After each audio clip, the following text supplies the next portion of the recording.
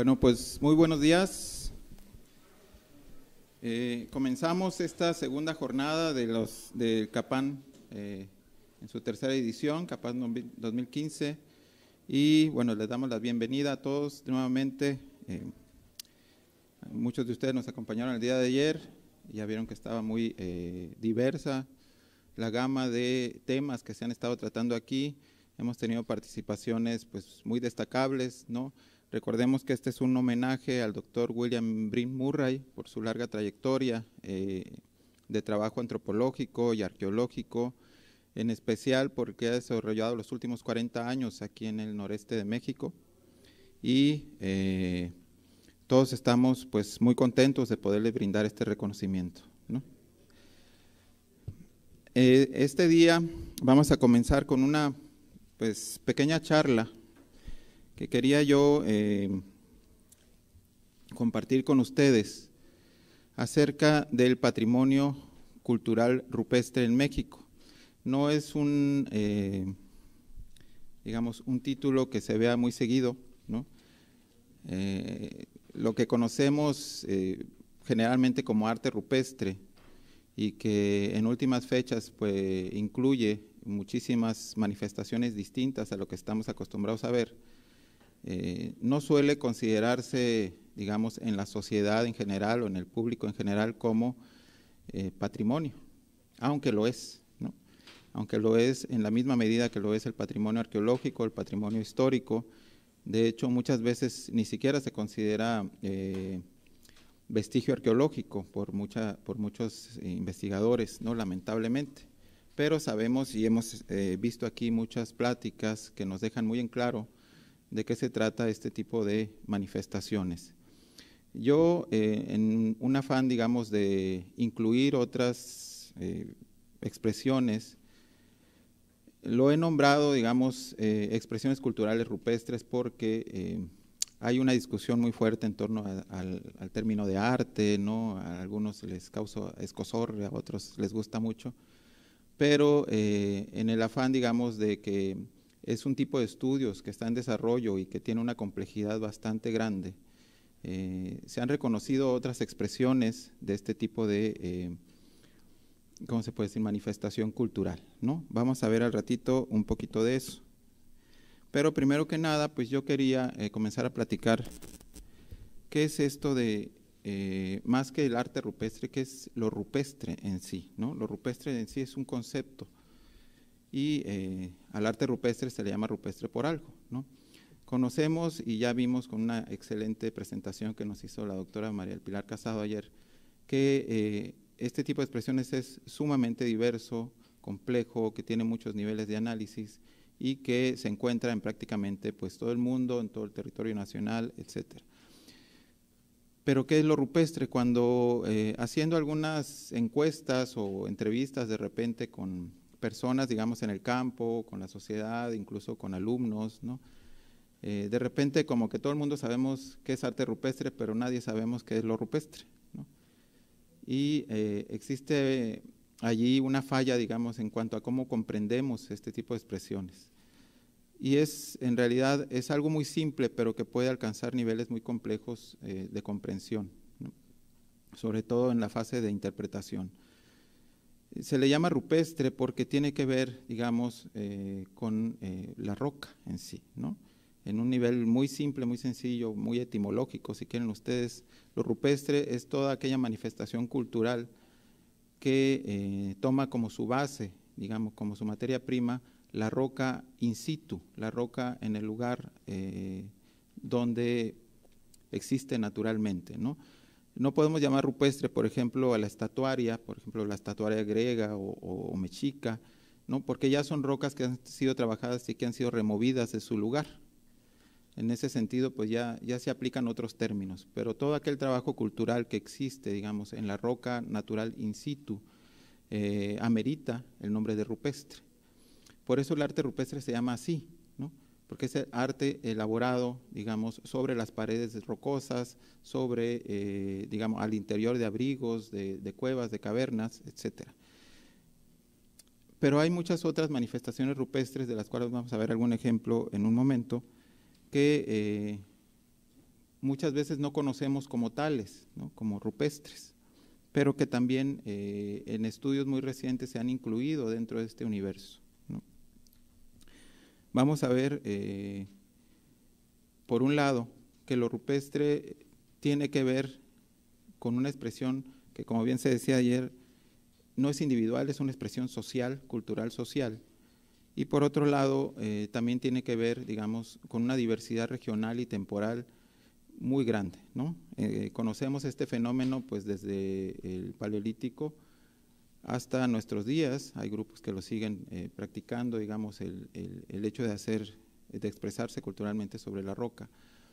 Y bueno, hay formas muy nuevas, modernas, de recuperar, digamos, este tipo de eh, trabajos. ¿no? Por ejemplo, eh, en la época moderna, contemporánea, hay muchos trabajos que pueden, ameritan ese término de rupestre, ¿no?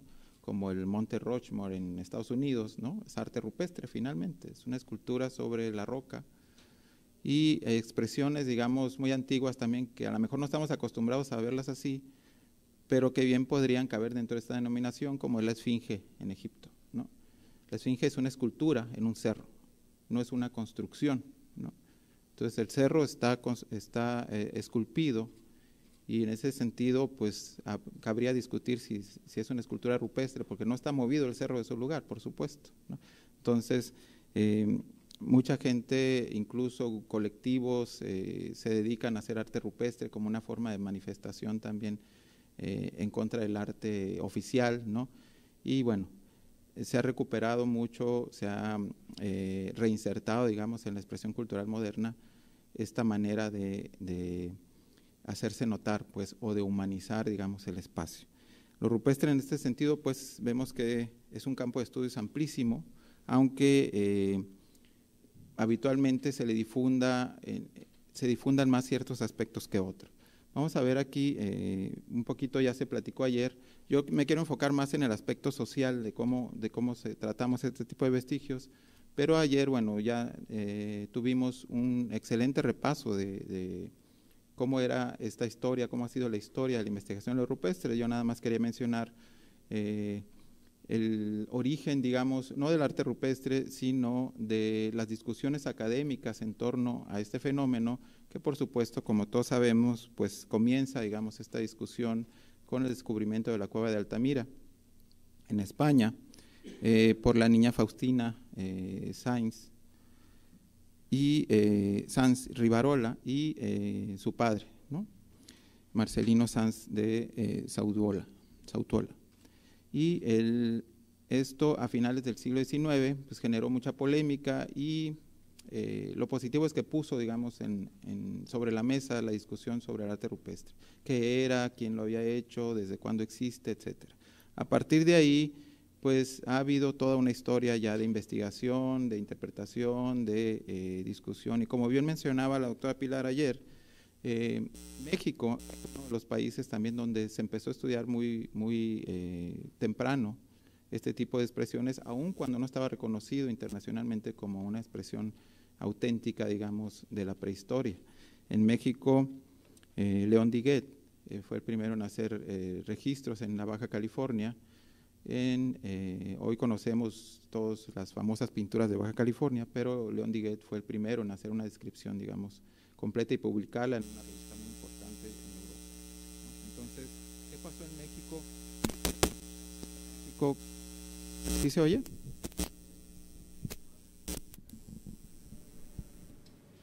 Bueno, ¿qué pasó en México a partir de esos primeros reportes? Al parecer la, vía de estudio en México pues cobró otro, otro derrotero, ¿no? Por, razones históricas, por razones nacionales, eh, todos conocemos, eh, si hablamos de arqueología en México, pues todos conocemos sitios monumentales, conocemos estudio de pirámides de la zona maya, etcétera, y el arte rupestre fue quedando un poco de lado hasta eh, pues épocas muy recientes, décadas muy recientes, donde ha crecido el número de interesados en, esta, en estos estudios. ¿no?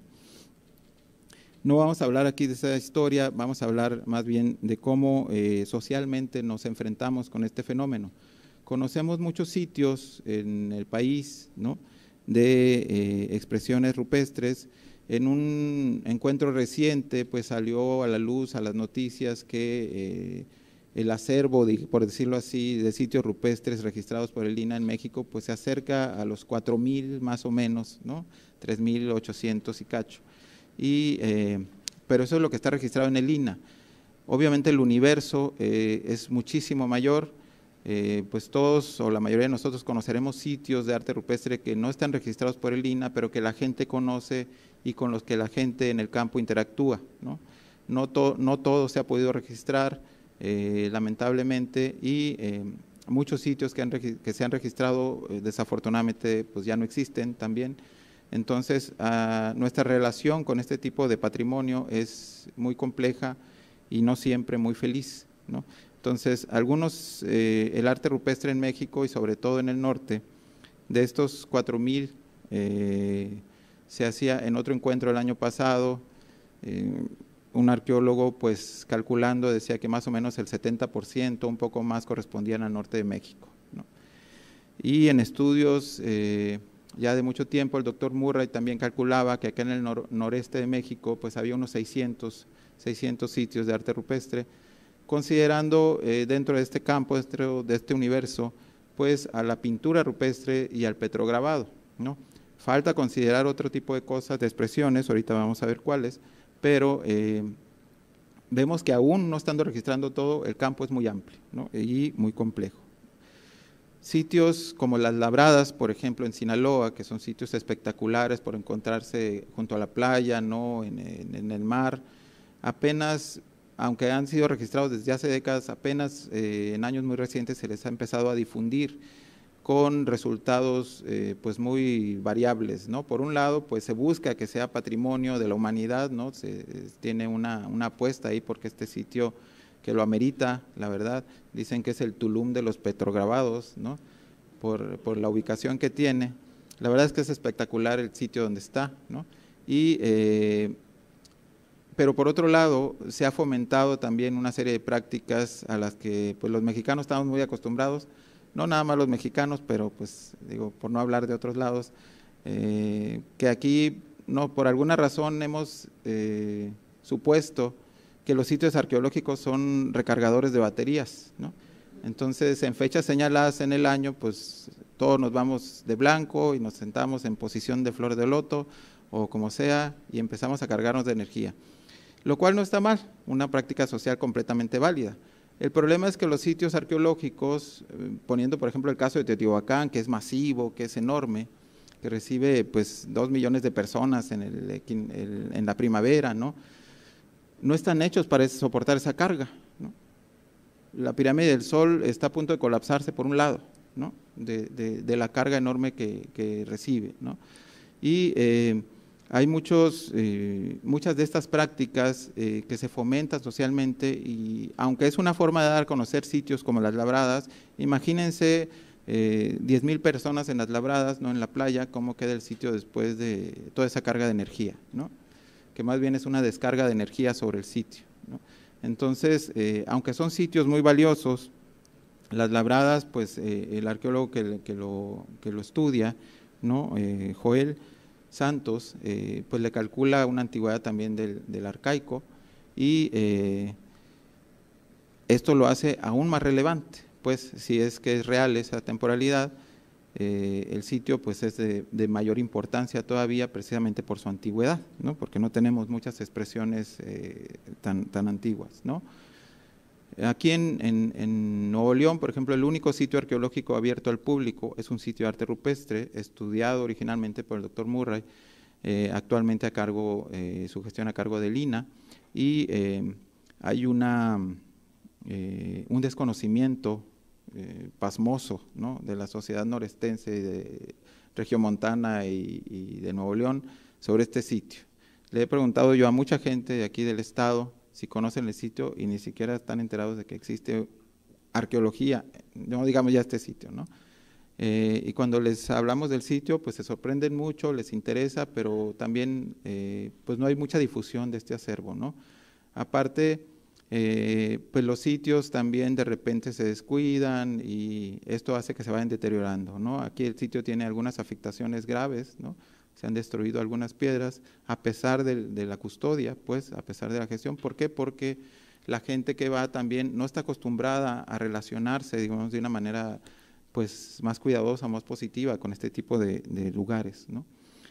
Eh, digo, no es fácil andar recorriendo cientos de piedras, viendo cientos de grabados al rayo del sol, porque pues no hay ni una sombra, pero eh, pues eso no amerita también que destruyamos o que grafiteemos o que este, rompamos, digamos, el, acervo, ¿no? Eh, otro ejemplo de, boca. Eh, los pongo aquí nada más como ejemplos gráficos de, con, qué nos topamos, digamos, si vamos como turistas o visitantes a sitios de arte rupestre. ¿no? el estudio de, estas manifestaciones eh, ya se han presentado aquí, el día de ayer se presentaron muchos estudios al respecto, se seguirán presentando otros, eh, pero lo que uno se encuentra, digamos, como, como lego o como eh, alguien que no está muy acostumbrado a esto, se encuentra, llega y ve una piedra así, ¿no? Por ejemplo, aquí en Narigua, en Coahuila. Coahuila no tiene ningún sitio oficialmente abierto al público por el INE, ningún sitio arqueológico. Al parecer se quiere abrir este sitio de arte rupestre también, que se llama Narigua que de hecho no está muy lejos de, Nuevo León, pues de la frontera con Nuevo León.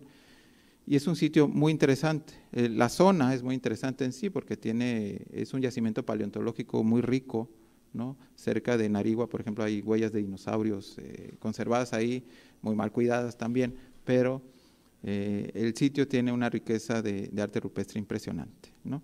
Y sin embargo tampoco, tampoco lo conocemos. Eh, no son los únicos sitios, por supuesto, que hay en Nuevo León y Coahuila, ni en Tamaulipas, ni, en el noreste. Hay muchísimos sitios, pero si no conocemos los más famosos, pues menos vamos a conocer eh, los, otros, ¿no? Algunos muy, de muy difícil acceso. Entonces, Narigua ahorita se está gestionando para que se abra al, público, según me, informaron, pero pues eh, al parecer faltan algunas cosas, ¿no? Es otro ejemplo del arte eh, rupestre de petrograbados en, en Narigua. Y eh,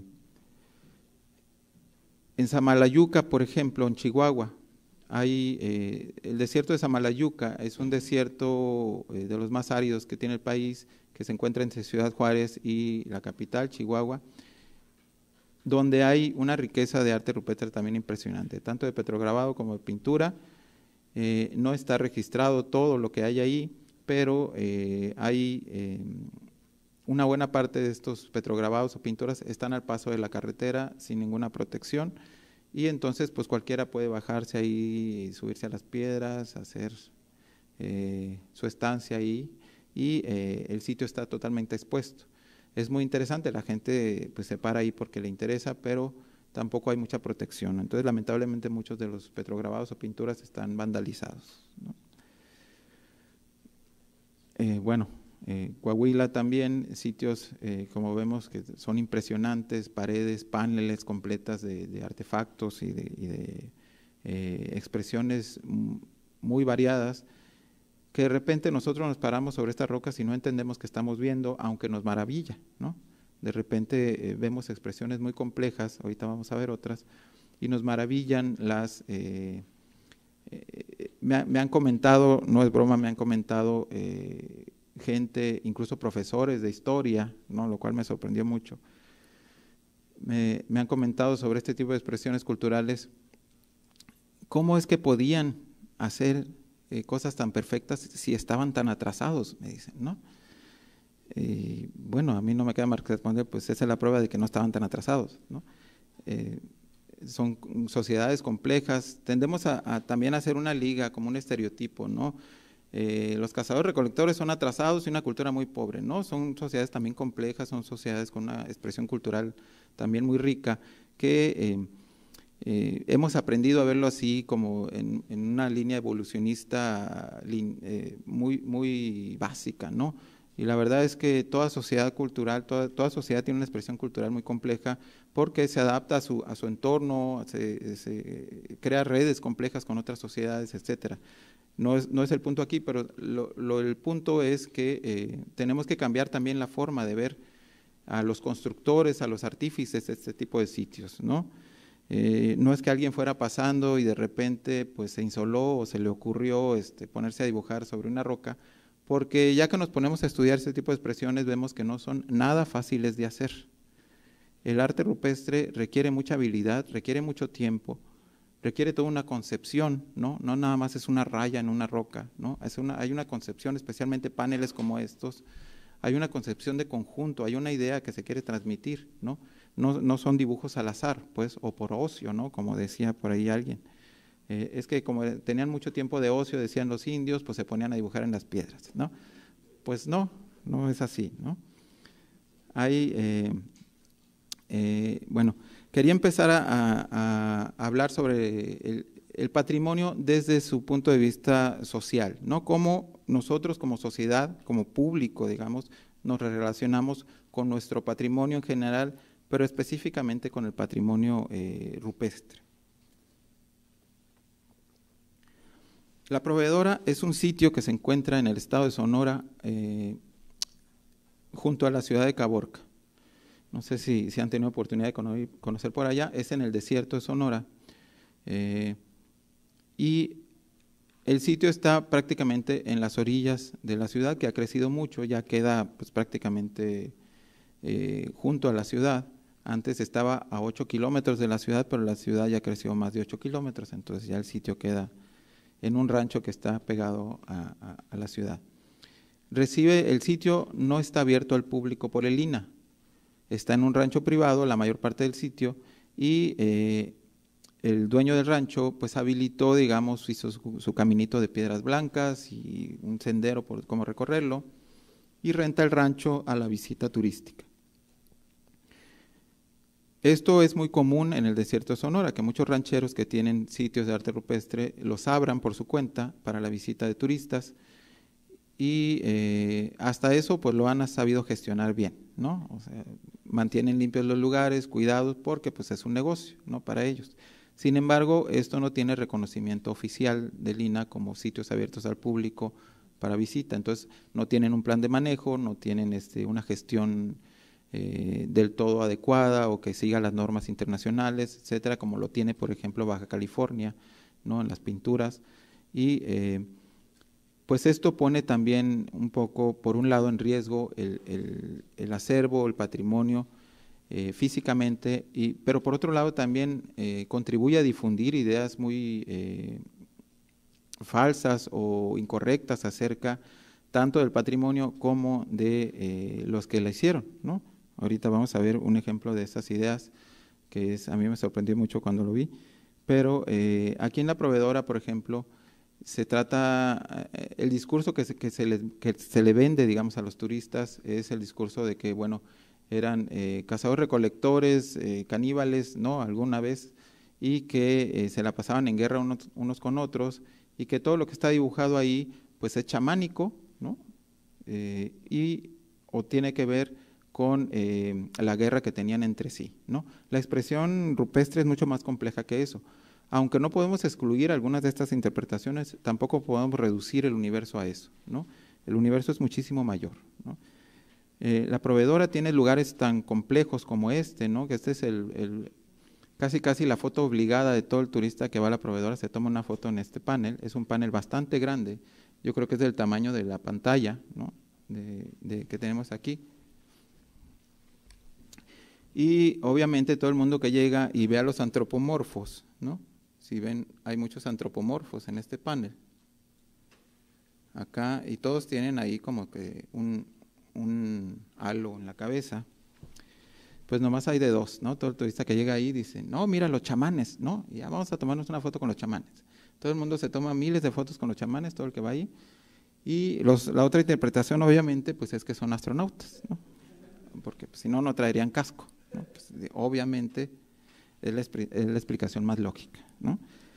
Eh, como vemos, la complejidad de composición de este panel pues va mucho más allá de una interpretación simplista. Todo el sitio que fue registrado en el 2003 por el arqueólogo eh, César Villalobos, ya había sido registrado por, por Beatriz Braniff el sitio, pero se hizo un conteo ya piedra por piedra de cuántos petrograbados había. Bueno, hay más de 6.000 eh, petrograbados aquí en la proveedora, según el, último conteo. ¿no? Y esto lo hace uno de los sitios eh, con la mayor concentración de petrograbados, no solo a nivel nacional, ¿no? sino a nivel de, eh, de, internacional. Pues, ¿no? y sin embargo está totalmente expuesto, ¿no? ¿no? Ni siquiera tiene un, más allá de las cercas del rancho mismo, ¿no? El sitio no tiene una delimitación, el sitio no tiene una protección, no tiene gestión, no tiene eh, nada. Entonces está abierto a cualquiera que quiera ir y varias de las expresiones que hay ahí en las rocas pues ya están vandalizadas, algunas ya no existen. Tuvimos la oportunidad de acceder a una colección de fotografías de hace 30 años del sitio y la mitad de las fotografías pues ya no existía el motivo que estaba ahí, ¿no? Entonces, eh, estas fotografías curiosamente las tomó un médico, el doctor Garibaldi, ¿no? Eh, un personaje muy singular de ahí de Caborca, cuando le tocó ir a hacer eh, un dictamen sobre alguien que estaba muerto arriba del cerro, ¿no? que se había, lo habían colgado ahí arriba, entonces tuvo que subir al cerro, entonces vio todo esto y lo empezó a fotografiar y se interesó mucho por todo eso, entonces precisamente eh, esa muerte nos dejó, nos dejó un legado este, de registro improvisado, pero con el cual pudimos constatar el deterioro tan avanzado que tiene el sitio. Si así, digamos, en condiciones actuales se contaron 6.000 petrograbados, más de 6.000, pues ¿cuántos habrá tenido originalmente? ¿no? Si ya muchas de las áreas ya no, ya no tenían ese, ese registro. ¿no?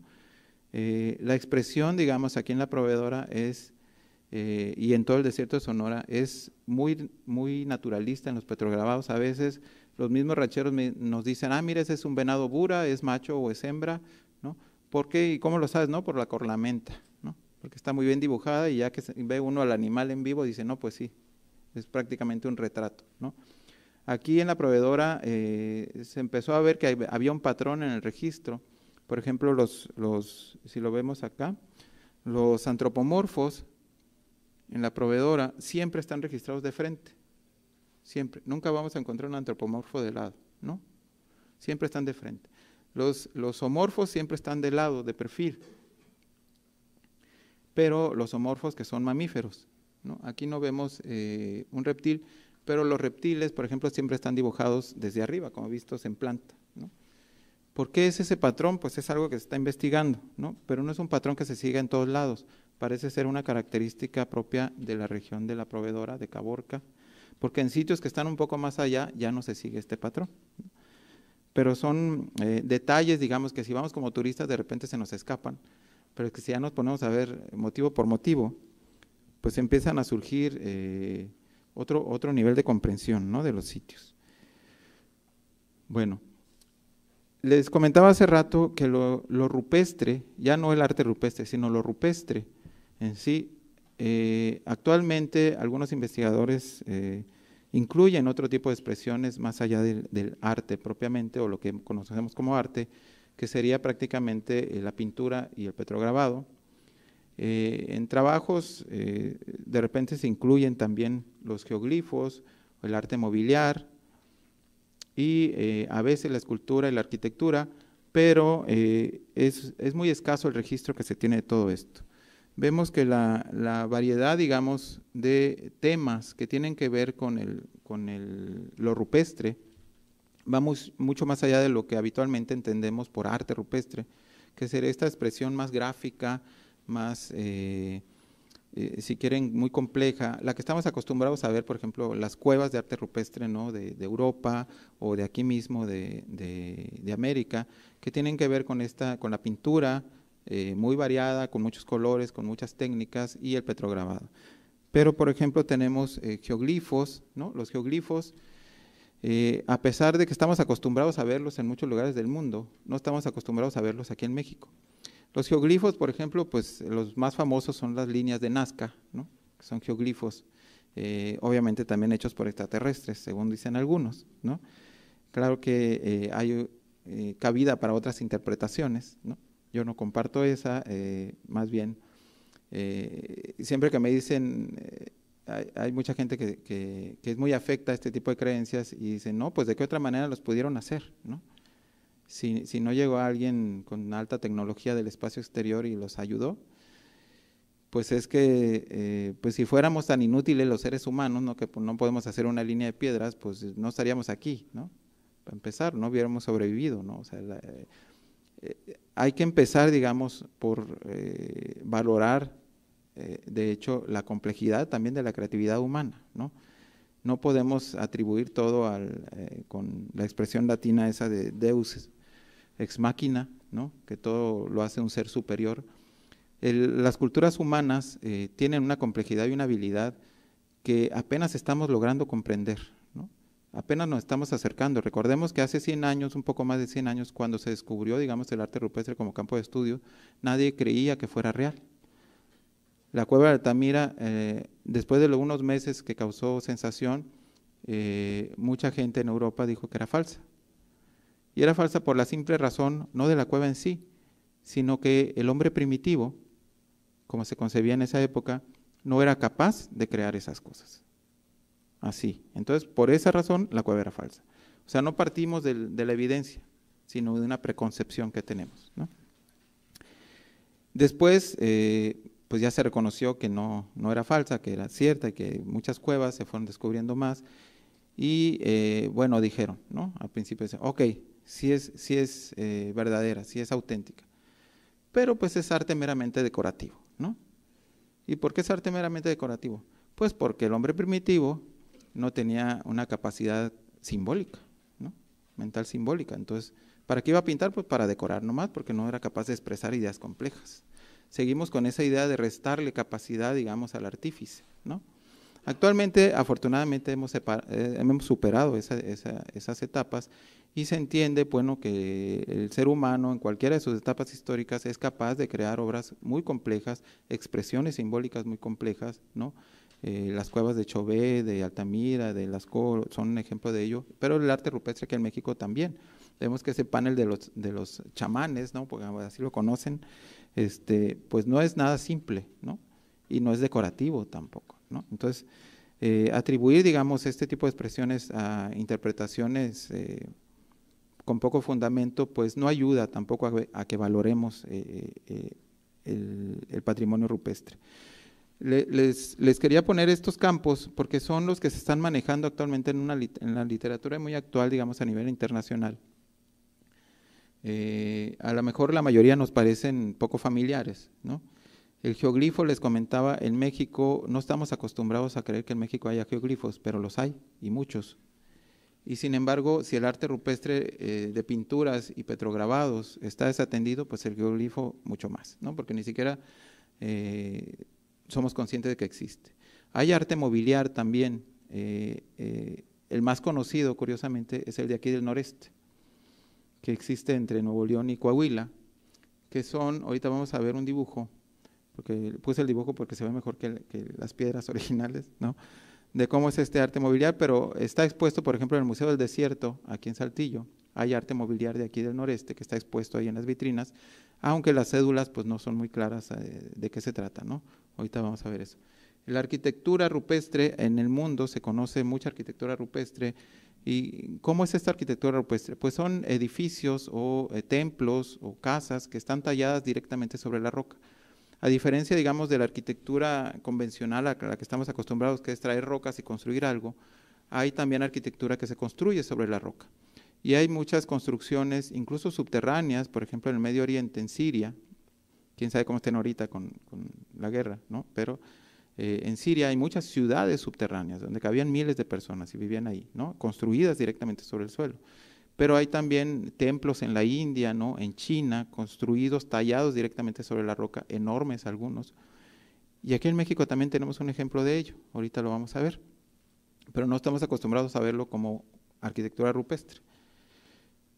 Eh, hay otras expresiones, eh, por ejemplo, algo que le llaman en la literatura petrosomatoglifo, con ese nombre tan rimbombante, pues nada más son eh, partes del cuerpo del ser humano o de animales que están expresadas como manos, pies, etcétera, ¿no? Y eh, le llaman con ese nombre en, alguna literatura. Y algo muy eh, que se está estudiando actualmente, que es esto del geosímbolo, es como una concepción mucho más amplia. Aunque no esté trabajado, digamos, la roca, eh, resulta que muchas rocas, muchos cerros son eh, muy representativos y muy importantes para la cultura de ciertas sociedades. Sin ir muy lejos, pues aquí que distinguir a la ciudad de Monterrey, ¿no? el Cerro de la Silla, ¿no? porque le vemos forma de silla de montar, desde cierto ángulo y se convierte, eso lo convierte en un geosímbolo, porque es representativo de una cultura norestense. ¿no? Es un punto de referencia, digamos, obligado, lo vemos desde todos lados, pero aparte es representativo de la cultura del noreste y eh, mal que bien lo hemos incluido en nuestra expresión cultural, lo vemos en la difusión turística, lo vemos incluso en literatura, lo vemos en, la pintura, en el arte, y el, geosímbolo en sí, digamos, le da sentido a muchas de nuestras expresiones culturales. Aquí ponemos el Cerro de la Silla, pero hay montones de lugares eh, a los que les vemos forma, digo, sin ir más lejos también, pues el Popo y el Ista se han convertido en geosímbolos de la cultura nacional, eh, eh, porque son muy visibles desde buena parte del altiplano central. Y aparte, pues todos hemos visto estos pósters que dibujan en las ferias, ¿no? De el Popo eh, abrazando a, la mujer dormida y, ¿no? Representaciones muy de arte popular indígena, indigenista más bien, no indígena, ¿no? Entonces, el geosímbolo también, algunos autores lo quieren incluir dentro del estudio de lo rupestre, aunque no sea una modificación, digamos, de la, de la base rocosa, todo este universo actualmente es lo que se está explorando en mucha literatura sobre arte rupestre, y eh, lo cual no demerita, por supuesto, los estudios de pintura y petrograbado, al contrario, amplía el universo y complejiza, digamos, esta expresión cultural. ¿no? Les decía yo de los geoglifos. Los geoglifos en México no son muy conocidos, lamentablemente, y esto ha hecho que, por un lado, eh, no reciban protección, pero por otro lado también, pues no hay estudios al respecto muy poquitos estudios sobre geoglifos en México. Les voy a hablar nada más de eh, los que conozco mejor, que son los del noroeste del país, en el desierto de Sonora.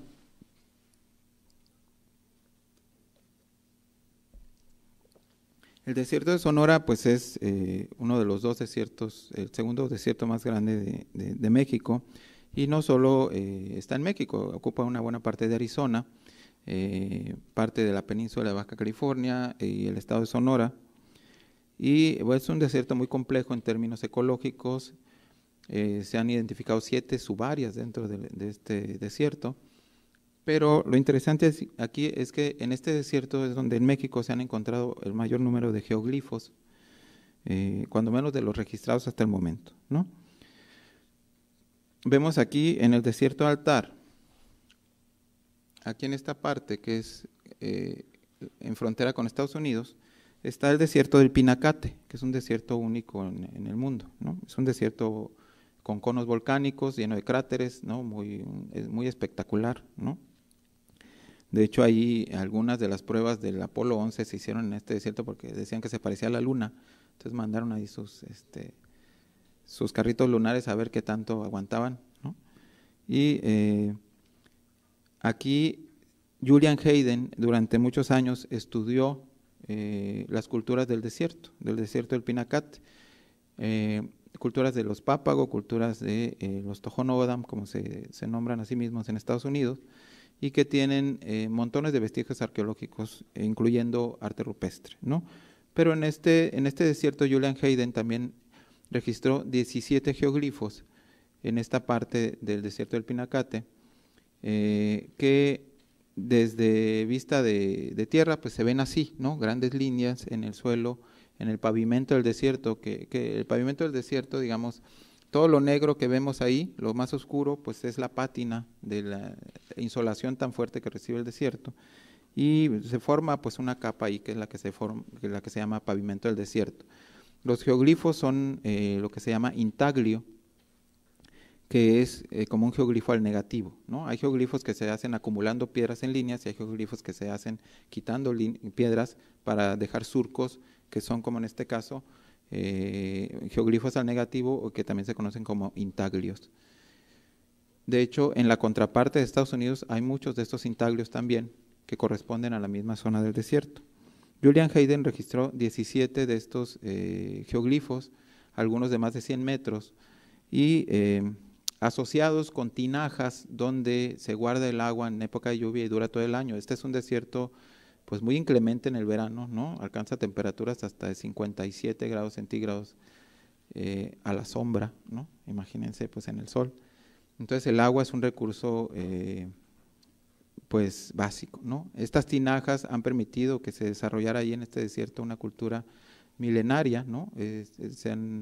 tiene ocupación de miles de años este desierto. Entonces, algunos de estos intaglios, Julian Hayden los asoció con las ocupaciones más tempranas, estamos hablando de 10.000, 12.000 años de antigüedad, y entonces eso hace que estos, que estos geoglifos pues, sean muy relevantes.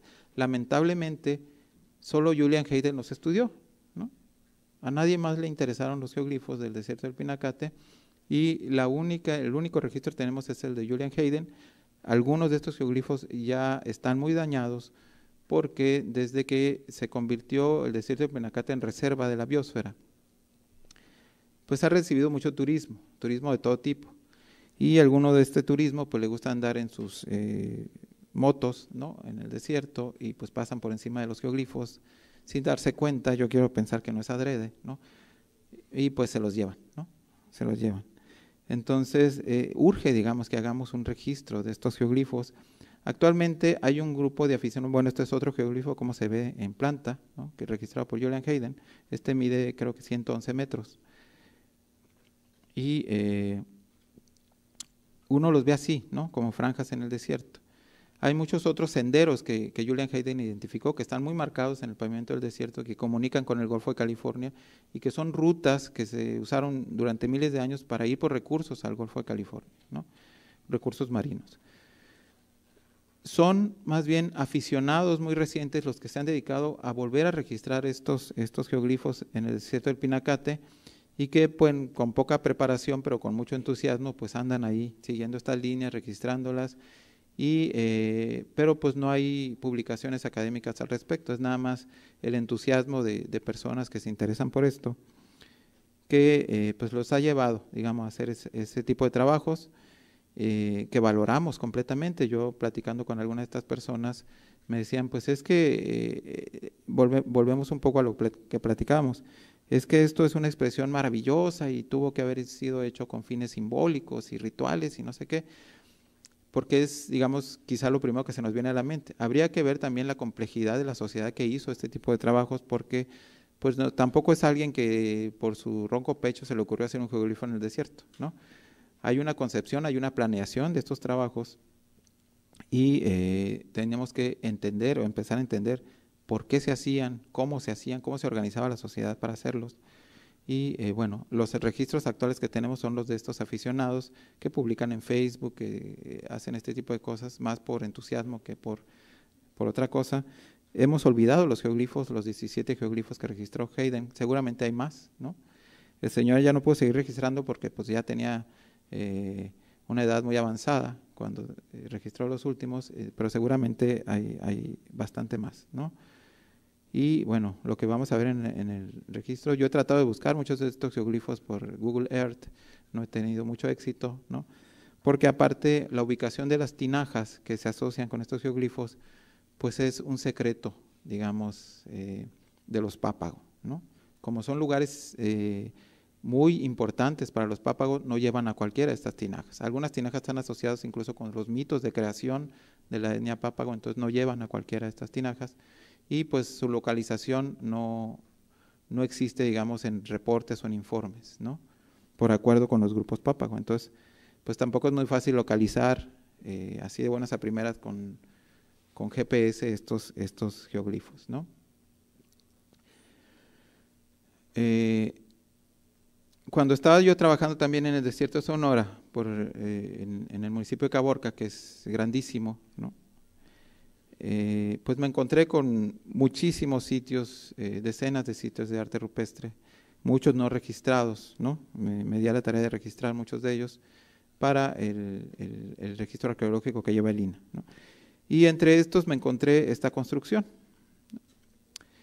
Pues de entrada es una construcción bastante grande, de muchos metros de diámetro, es circular completamente, desde tierra se ve así, ¿no? como, como un diamante quizá, como un cuadrado, pero en realidad la construcción es circular. No le pude tomar una foto aérea porque pues no, tenía los medios en ese momento, ¿no?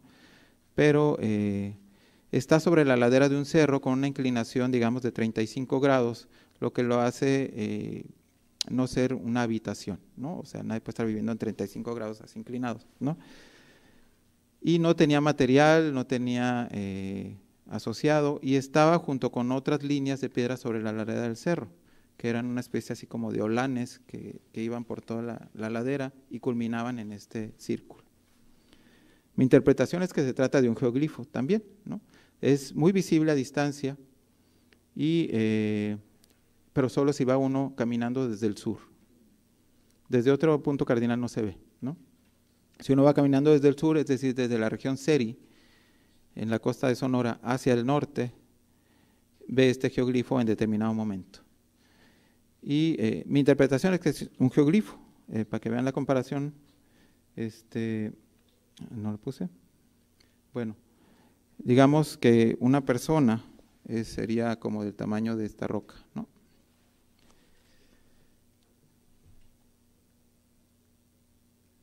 Hay otros, eh, por ahí cerca se registraron geoglifos de menor tamaño en un sitio llamado La Playa, que está muy cerca del Cerro de Trincheras. Eh, las investigaciones que hicieron John Carpenter y Lupita, y Lupita Sánchez hace muchos años, lamentablemente varios de esos geoglifos que registraron ya no existen, se los llevó la erosión, ¿no? y, eh, pero registraron eh, petroglifos en forma de cruz, petroglifos en formas eh, diversas dentro del sitio arqueológico de la playa, que es un sitio también con una ocupación milenaria y que, como les contaba, pues la falta de investigaciones también o de cuidado ha hecho que muchos de estos vestigios se pierdan.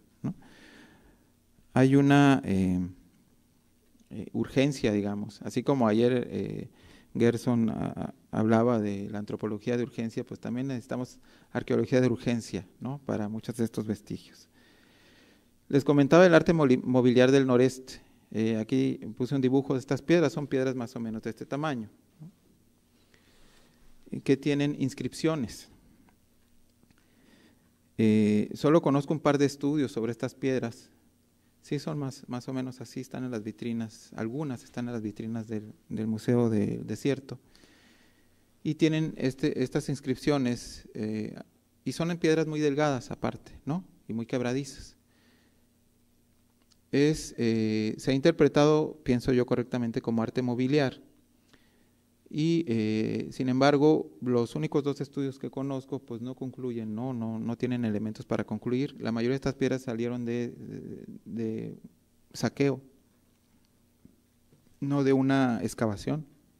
Entonces eso dificulta más su interpretación. ¿no?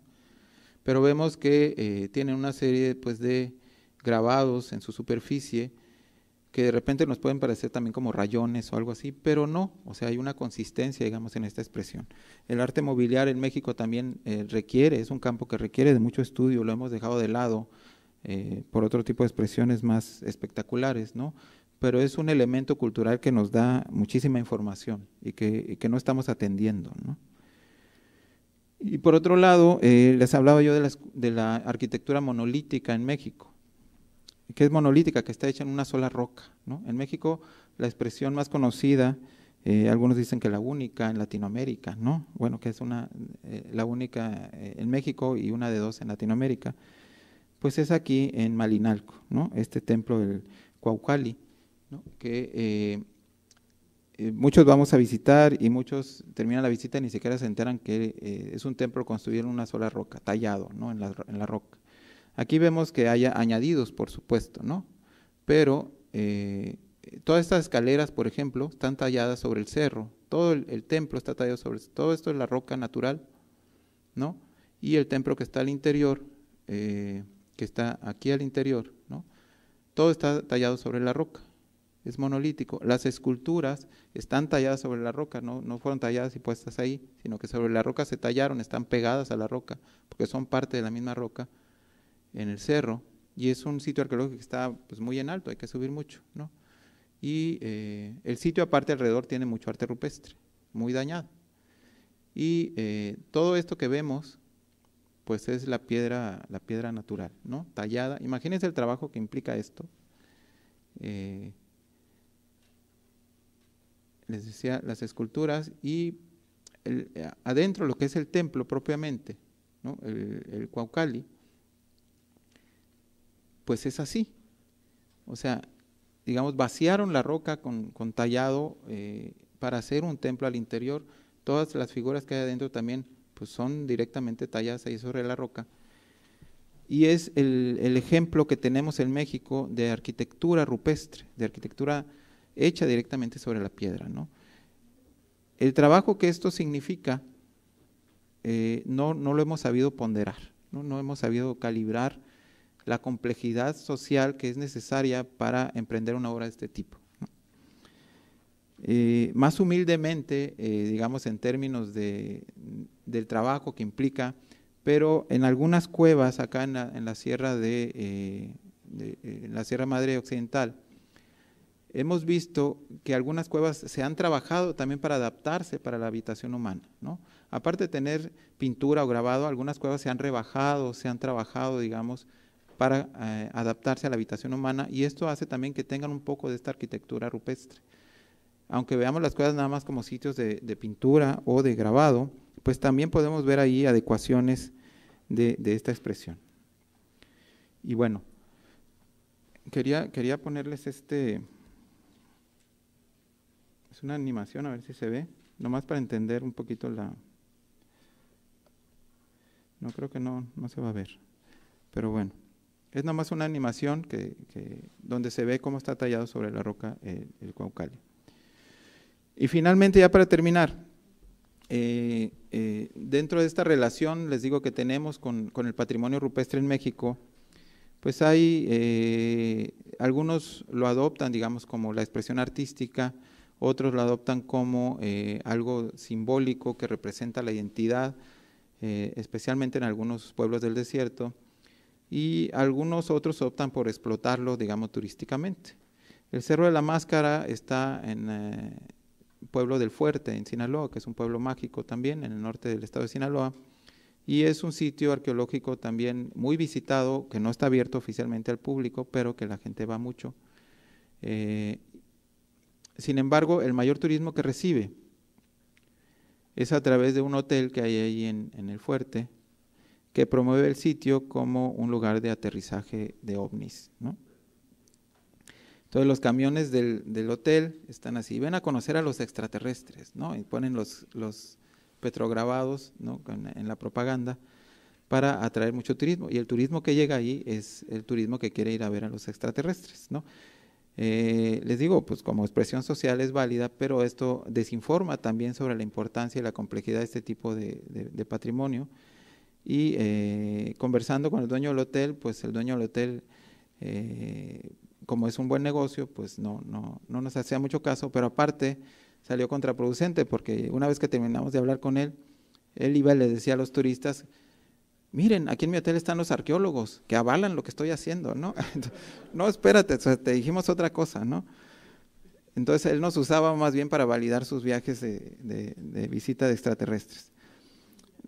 Lo cual, eh, pues ya ni modo, como nos hacía descuento, pues nos tuvimos que quedar ahí, ¿no?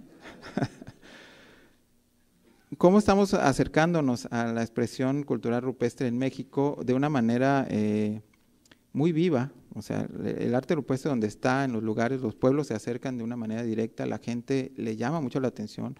Cualquiera que pase por un panel de rupestre le llama la atención, por supuesto, ¿no? Sucede un poco con las puntas de flecha. Cualquiera que va caminando y una punta de flecha la levanta, inevitablemente, ¿no?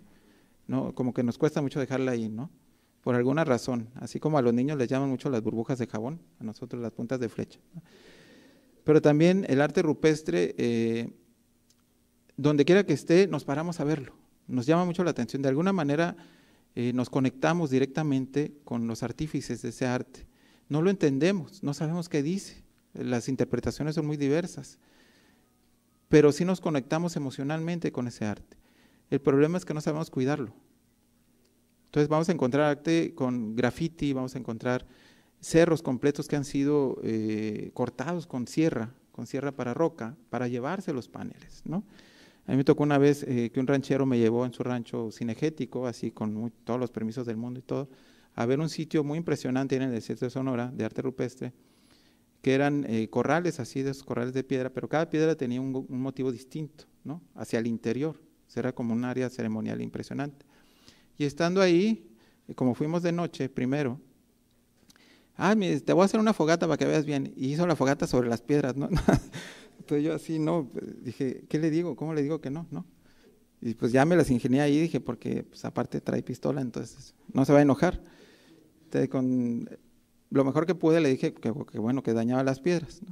Ah, bueno, la voy a hacer acá, dice, ¿no? Pero de todas maneras sí quemó dos, tres. Y eh, ya que nos íbamos a ir, empezó a darle de patadas una piedra, ¿no? Y yo le digo, ¿qué está haciendo? Ahí sí se me salió, este, dije, ¿qué está haciendo? Espérese, ¿no? No, dice, es que me la quiero llevar para mi casa, o sea, la estaba pateando para sacarla de la, tierra. Y, pero ¿por qué se la quiere llevar para su casa? Es que está bonita, la voy a poner ahí en el porche, ¿no? No, le digo, ya, pues un rato ahí convenciéndole de que no, no arrancara la piedra, ¿no? Pero ya habían arrancado muchas otras, porque yo las vi en su casa, ¿no? Entonces, este, eh, es muy común hacer eso con el arte rupestre. A la gente le gusta la piedra y se la lleva para ponerla en su casa. En la ciudad de Caborca hay algunas esquinas donde pues, el municipio fue por piedras a la proveedora y las puso en las esquinas porque pues están padres, ¿no? Pues ya está el trabajo hecho, nomás lo acarreo, ¿no? Para decorar la ciudad. Y ya cuando no les gustaron las pintaron todas de blanco, entonces ya no se ve el motivo, ¿no? Eh, ¿Por qué hacemos eso con el arte rupestre, no? Porque aparte nos conectamos, lo valoramos, pero no lo respetamos, no sabemos cuidarlo, no sabemos gestionarlo. Entonces, eh, eh, tiene mucho que ver también cómo como arqueólogos hacemos el trabajo. ¿no? Eh, para cerrar nada más, quería contarles una anécdota. Hace eh, un par de años, en un coloquio de doctorado, pues yo estaba exponiendo el trabajo que estaba haciendo en el, en el, desierto de Sonora sobre arte rupestre y se me ocurrió decir que, bueno, que a mí me llamaba mucho la atención que muchos arqueólogos que yo había conocido no registraban el arte rupestre, aunque estaba en sus sitios. Y yo les preguntaba, oye, ¿por qué no registras el arte rupestre? Ah, no, es que no es parte de mi proyecto. Entonces hacían el trabajo arqueológico y todo, y el arte rupestre que estaba ahí no la registraban. Entonces, eh, a mí me llamaba mucho la atención porque lo vi en muchos casos, ¿no? Y se me ocurrió decir eso en la mesa, ¿no? Y entonces ya pasaron otras, otras mesas y después se subió uno de los, de los profesores, ¿no? A comentar los trabajos. Y lo primero que hizo, se sentó así como que se sintió muy ofendido. Y se sentó y me dice, y, voltea así y me dice, yo le voy a contestar, me dijo, ¿no? Yo soy de esos arqueólogos que no registra el arte rupestre. Es un arqueólogo muy reconocido nacionalmente, no digo su nombre, ¿no? Pero. Y yo me quedé así, ¿no? dije, ah, caray, ya se me olvidó quién era. Este. Me dijo, yo soy de esos arqueólogos que no registran el arte rupestre. Y le voy a decir por qué. Y pues yo muy atento. Entonces eh, me dijo, en arqueología el fechamiento lo es todo. Y el arte rupestre no se puede fechar. Entonces por eso no lo registro. Yo dije así, pues ya muriéndome de la pena, pero ajena, ¿no? ¿Cómo? O sea, ¿qué le pasa, no? De una persona con mucha influencia, muy conocida, pues entonces dije yo, ¿qué mensaje estamos mandando como arqueólogos, no? Si yo estaba viendo que en la práctica muchos no lo registran y, y este señor haciéndolo explícito y aparte sintiéndose orgulloso de ello, eh, y pues muchos levantaron la voz y voltearon a verme. Entonces, ¿qué caso tiene lo que estás haciendo? Me dijeron.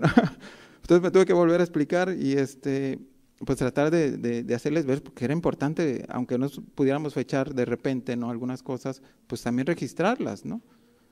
Cuando menos, eh, por ejemplo, mucho del registro que ha hecho el doctor Murray de sitios que ya no existen nos permite entender de entrada cómo se usa el espacio, ¿no? cómo se humaniza el espacio de todas estas culturas, ¿no? qué tipo de expresiones tienen o tenían estilísticamente, qué están representando, etcétera.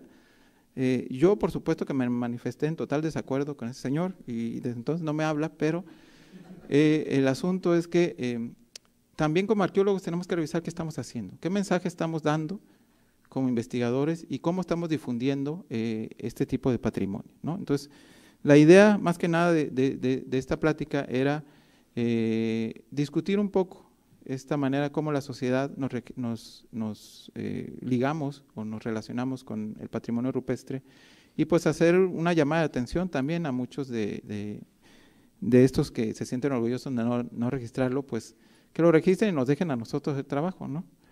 Ya que a muchos les da realmente eh, mucha pereza, ¿no? Registrarlo porque registrar el arte rupestre no es fácil, trabajar con él tampoco, interpretarlo mucho menos.